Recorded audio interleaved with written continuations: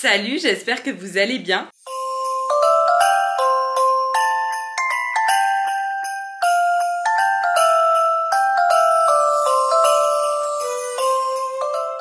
Amis, je suis ravie de vous retrouver aujourd'hui dans une nouvelle vidéo et aujourd'hui on se retrouve pour une vidéo où je vais tester les marques des influenceurs ou plus précisément je vais vous donner mon avis sur les marques des influenceurs que j'ai testés parce qu'on va pas vraiment tester en vidéo, tu vois ce que je veux dire? Afin de vous faire une revue assez intéressante, il y a certains produits que j'ai achetés il y a vraiment genre plusieurs années même d'autres plusieurs mois et d'autres assez récemment mais que j'ai souhaité tester un petit peu avant de vous les montrer en vidéo.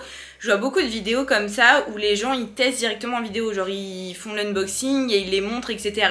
Et je trouve que c'est bien mais à la fois du coup t'as pas vraiment le recul de savoir est-ce que ça tient dans le temps etc.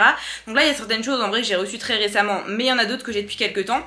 Et du coup j'ai vraiment pouvoir vous donner un avis un petit peu plus complet. Dans cette vidéo je vais essayer de vous donner un maximum d'informations. Si jamais je peux pas tout vous dire je vous l'écrirai au montage et si jamais il manque des choses vous le dites dans les commentaires. Évidemment vous le savez les commentaires sont ouverts. On attend les infos que vous connaissez, j'ai pas la science infuse, je ne sais pas tout. Donc vraiment je compte sur vous pour participer à cette vidéo et vous partager un peu vos avis et même si jamais vous avez par exemple d'autres influenceurs, vous avez testé leur marque, n'hésitez pas à nous dire si oui ou non vous avez kiffé. Enfin franchement nous on veut avoir euh, les avis de, tout le monde donc euh, n'hésitez pas. On va parler de 4 influenceurs dans cette vidéo, je préfère vous le préciser comme ça au moins si jamais vous vous demandez vous n'avez pas besoin de regarder toute la vidéo pour savoir. On va parler de la marque de Gaël Garcia Diaz qui est la marque Martine Cosmetics. On va ensuite parler de My Better Self donc Louise qui a une marque qui s'appelle Je ne sais quoi. On va parler de Fleur, qui a une marque qui s'appelle Fleur et compagnie. Et on va terminer par Romy, qui a la marque Glacé. Ce sont que des influenceuses que je suis et que j'adore. J'ai vraiment fait le choix de donner mon argent à des influenceuses que j'adorais, qui ont des marques, selon moi, honnêtes, qui sont vraiment investies dans leur marque. Parce qu'il y a certaines marques où je voulais tester et quand j'allais voir les commentaires, je voyais euh, j'ai jamais reçu mon colis, euh, j'ai pas de réponse du service client. En vrai de vrai, tu regardes les youtubeuses, elles font jamais de vidéos sur leur marque. Enfin, franchement, moi ça, ça me donne pas envie. Donc j'ai vraiment pris la décision d'encourager les influenceuses où je trouvais qu'elles avaient un peu plus de mérite et qu'elles étaient vraiment investies dans leur marque, tu vois. Et bien évidemment, les marques qui avaient quand même une catégorie un petit peu plus size qui était assez inclusive, etc. Même si, évidemment, c'est pas non plus le top du top, mais de toute façon, on va y revenir dans la vidéo. On va commencer par la marque de Martine Cosmetics. Donc à la base je devais faire une vidéo 100% mode et ne pas parler de make-up. Mais je me suis dit finalement j'ai quand même testé deux produits de chez elle et je trouve que c'est dommage de pas en parler parce que peut-être ça peut intéresser certains d'entre vous d'avoir mon avis. Parce qu'on entend beaucoup parler de la marque Martine Cosmétique mais on a tous un peu des avis différents. Je pense aussi parce que on a tous une peau différente, un âge différent, des attentes différentes et on a aussi testé des produits différents. Donc moi j'ai testé deux produits la palette Buzz. C'est vrai que c'est pas la meilleure palette de sa marque et c'est pas non plus la palette qui est sortie le plus récemment mais c'est la seule que j'ai et je pense que les formules de ces fards sont à peu près les mêmes pour toutes ces palettes. J'espère que je ne dis pas de bêtises. Et j'ai aussi testé son eyeliner. Donc on va commencer par la palette. Mon make-up aujourd'hui a été réalisé avec cette palette. Vous le savez, j'adore le rose.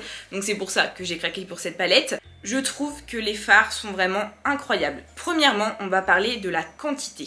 Je sais pas si vous vous rendez compte, mais on est sur des fards qui sont vraiment énormes par rapport à par exemple des petites palettes Huda Beauty ou quelque chose comme ça alors que c'est vraiment le même prix, il y a même plus de fards, je l'ai payé 35 euros la qualité est dingue, notamment pour les fards irisés. Tu les prends au doigt, c'est un peu crémeux en plus. Le pigment, mais il est incroyable. Alors, tu, passes une fois sur ta paupière, c'est bon, ton, ton phare il est mis, il est appliqué. Je trouve sincèrement que ces fards sont incroyables et je comprends du coup toute la hype qu'il y a autour de Martine Cosmetics.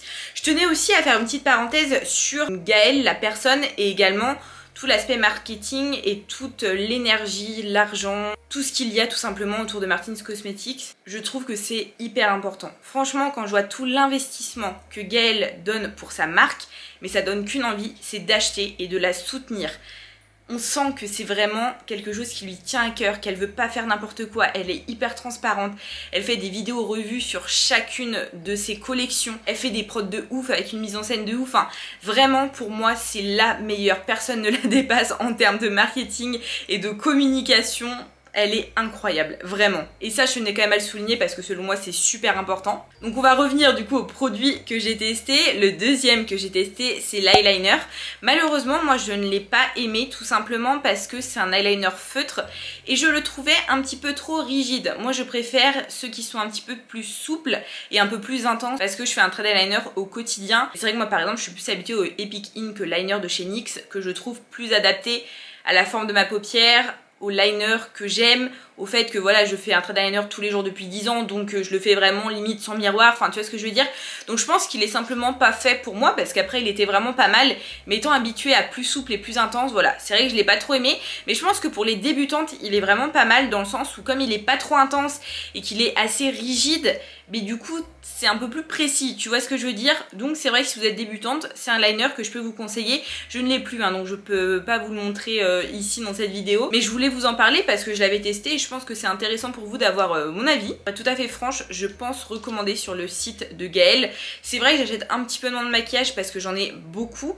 Et c'est vrai que j'essaye de faire un peu plus attention à ma consommation. Je sais qu'elle va sortir dans les prochains mois une marque pour le soin, Martin Skin. Et pareil, sincèrement, j'attends d'avoir les revues, mais je pense pouvoir commander les yeux fermés parce que c'est vraiment quelqu'un à qui je fais confiance et je pense que sa marque de soins va vraiment être incroyable. On va maintenant passer aux sous-vêtements. Donc j'ai commandé sur la marque de My Better Self qui s'appelle Je ne sais quoi. Alors Je ne sais quoi, c'est une marque de lingerie qui est éthique, inclusive et en gros, c'est de la lingerie qui est très simple, mais très confortable, sans couture. Il y a énormément de taille. C'est fabriqué dans de très bonnes conditions. Ils sont très transparents par rapport au prix, à la fabrication, etc. Enfin, je trouve ça absolument génial. Et c'est vrai que Louise, je l'ai connue en fait quand elle a sorti sa marque, même pas quand elle a sorti sa marque. En fait, je crois que c'est mon frère qui m'avait partagé une vidéo d'elle où elle demandait à répondre à un questionnaire par rapport justement à la lingerie grande taille, etc. Et j'ai trouvé ça super intéressant, j'avais répondu au questionnaire et du coup après j'avais un peu suivi l'évolution de la création justement de sa marque de sous-vêtements. Et quand elle l'a sorti j'avais qu'une envie c'était de commander pour tester. Et j'ai pas été déçue donc j'ai commandé un premier ensemble. J'ai commandé le rouge de la collection signature donc de la première collection signature. Ça fait maintenant deux ans que je l'ai, deux ans que je le porte très souvent, deux ans que je l'ai lavé des fois mais incalculable tu vois. Il n'a pas bougé, il n'a pas bougé. Au niveau de la qualité, c'est incroyable. Je vais pas vous le cacher, depuis quelques mois maintenant, je ne porte plus de soutien-gorge parce que voilà, je, me suis habituée, je fais partie de cette team qui est de plus en plus fréquente, hein, clairement, on en a marre d'être euh, et coincé dans nos vêtements. Donc c'est vrai que je les porte un petit peu moins, mais je les ai quand même énormément portés pendant genre un an et demi, et c'est vrai qu'ils n'ont pas bougé. Ensuite, je me suis recommandé une autre forme en lilas. J'aimais tellement la couleur lilas que j'ai aussi commandé donc de la même forme du rouge, et je l'ai aussi commandé en pêche parce que j'aimais beaucoup cette forme. Et pareil, j'ai tourné avec ces quatre soutiens-gorge pendant un an et demi et franchement mais ils ont pas bougé, ils sont incroyables, ils sont d'un confort incroyable. Je sais qu'elle a revu un petit peu les sous-vêtements, elle les a un petit peu refaits par rapport à ce qui n'allait pas. Je crois que maintenant tu peux les régler au niveau du tour de dos. Donc elle revoit sa marque à chaque fois et moi je trouve ça super qu'elle se remette en question et qu'elle refasse un petit peu certaines choses. Enfin je trouve c'est un très bon point pour la marque et puis au niveau de la qualité, moi comme je vous dis, mais foncez les filles, franchement si vous cherchez des sous-vêtements confortables, que vous en avez marre d'être coincé dans vos sous-vêtements, foncez parce qu'ils sont vraiment géniaux. C'est vrai que c'est un petit budget, même si moi je trouve que c'est tout à fait correct par rapport à ce que c'est. Comme ça dure dans le temps, bah, je trouve que c'est carrément cohérent. Et sinon je voulais juste faire une petite parenthèse parce que j'ai reçu un message d'une fille qui me disait My Better Self prône le fait de faire de la lingerie inclusive, mais malheureusement, il n'y a pas ma taille. Donc oui, c'est quand même le petit point, on va dire, négatif que je tenais à préciser, même si pour moi, elle a raison et tort à la fois, tu vois. Aujourd'hui, les marques ne vont pratiquement jamais au-dessus euh, de la taille 44-46, tu vois. Et Louise, elle va jusqu'à la taille 50, si je pas de bêtises. On va parler en taille comme ça, parce que c'est compliqué de faire les tailles de soutien-gorge, machin, enfin, vous comprenez un peu ce que je veux dire. Donc c'est vrai qu'elle va plus loin que les tailles classiques. Elle a un panel de taille qui est quand même assez important. Donc ça, c'est assez agréable. En plus de ça, elle a des noms de taille qui changent et qui font plaisir. Tu vois, moi par exemple, je crois que je fais une taille euh, extraordinaire, quelque chose comme ça. Ça fait plaisir, on va pas se le cacher. Cependant, oui, c'est vrai qu'elle prône l'inclusivité, mais quelqu'un qui fait une taille 54, 56, 58, 60 ne peut pas s'habiller sur la marque je ne sais quoi. Donc c'est vrai que c'est un petit peu le point qui est dommage. Après, voilà, je pense connaissant Louise que, étant donné que c'est un peu une marque qui est récente, elle souhaite faire des grandes tailles, des très grandes tailles, des très petites tailles. Et malheureusement, c'est quelque chose qui peut pas se faire tout de suite. Donc je pense qu'elle attend d'avoir peut-être le budget, d'avoir les fournisseurs. Avec le Covid et avec tous les problèmes de livraison, on le sait qu'en plus c'est plus compliqué de trouver des fournisseurs, etc. Il y a l'inflation, enfin il y a vraiment beaucoup de facteurs qui font que je pense que c'est pas évident.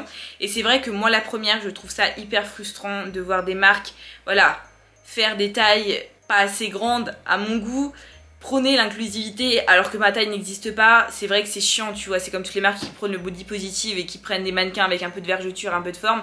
Et t'es là en mode, bah ouais, tu, tu fais une campagne comme ça, t'en parles partout, mais en attendant, je peux toujours pas m'habiller.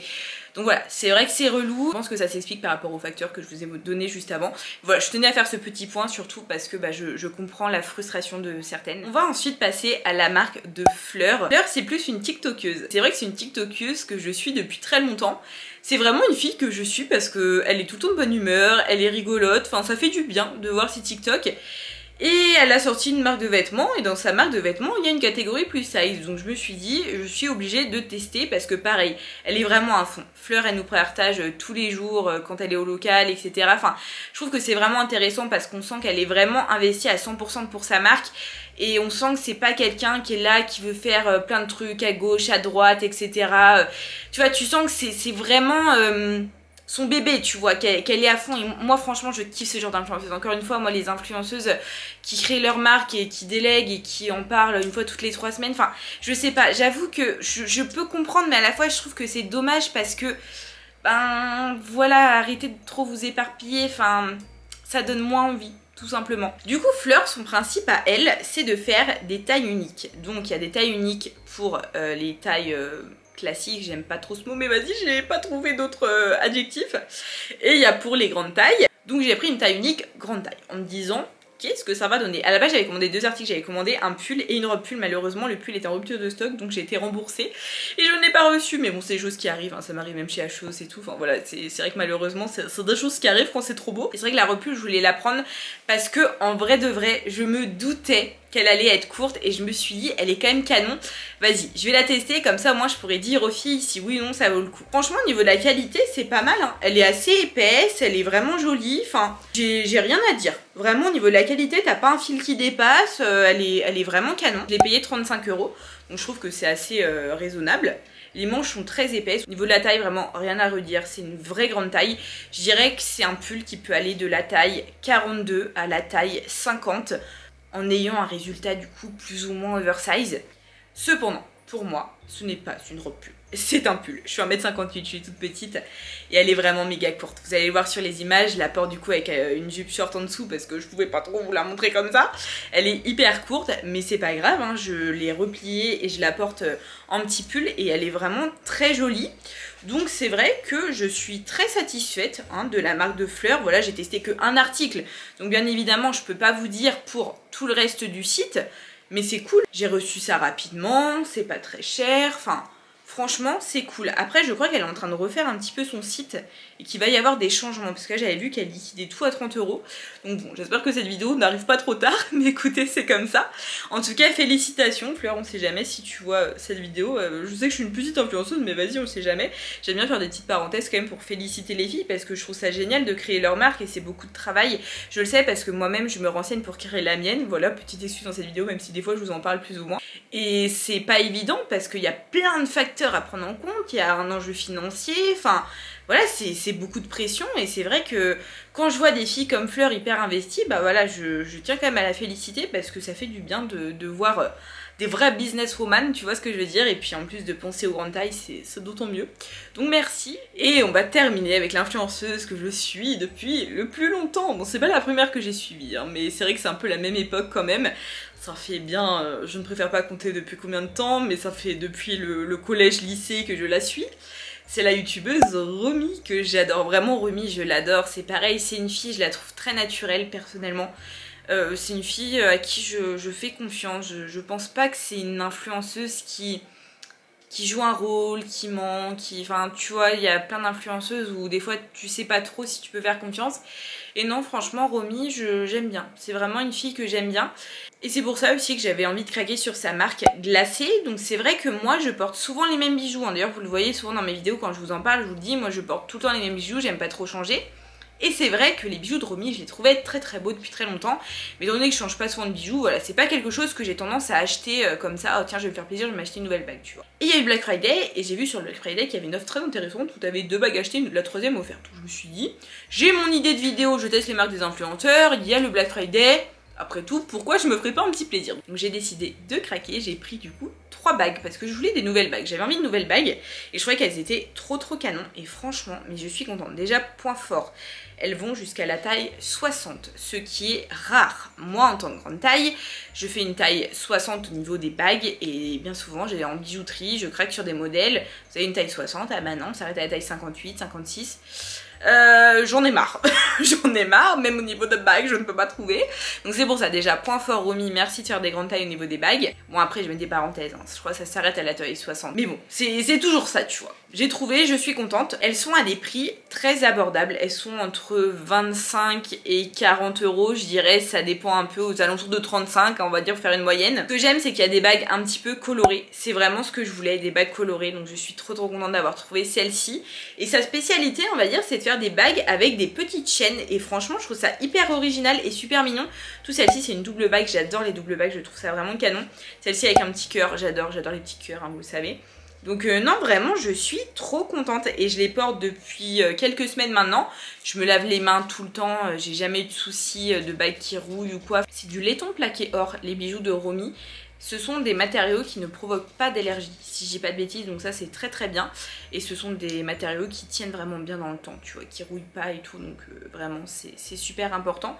Donc non, vraiment je trouve que Glacé c'est une super marque. Euh, j'ai été vraiment euh, agréablement surprise, donc je pense sincèrement recommander sur le site si jamais j'ai envie de me faire plaisir avec des bijoux, des boucles d'oreilles et autres, parce que elle a des collections incroyables et ouais, je, je, suis vraiment très très contente de cette découverte. Bon et bien les amis, on va s'arrêter là, je suis de vous avoir partagé mes petites trouvailles et également mon avis sur les marques des influenceurs. J'espère qu'il vous aura été utile, que vous aurez appris des choses, etc. Vraiment, j'ai essayé de faire au mieux parce que c'est vrai que c'est pas forcément évident. Si jamais vous, vous avez testé des marques d'influenceurs, n'hésitez pas à le partager dans les commentaires. Franchement, j'ai trop trop hâte de lire vos avis, de découvrir peut-être euh, d'autres marques euh, que je ne connaissais pas, je ne sais pas. Si vous avez testé les mêmes marques que moi, mais dites-moi aussi parce que je veux bien avoir peut-être des contre-avis ou alors des avis d'accord avec moi. Enfin, vraiment, j'ai hâte de vous lire, comme d'habitude.